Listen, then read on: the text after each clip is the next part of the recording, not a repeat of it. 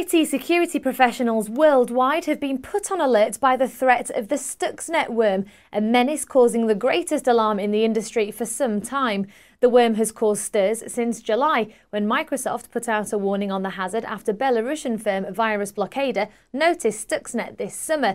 The threat was then seen exhibiting unparalleled abilities this month as Stuxnet took advantage of as many as four zero-day liabilities in one swoop. Stuxnet uses shortcut files in USB drives and spreads malware upon the .link file being interacted with by the operating system. Another angle of attack for the worm is through code being spread to a remote access computer via the Windows print spooler.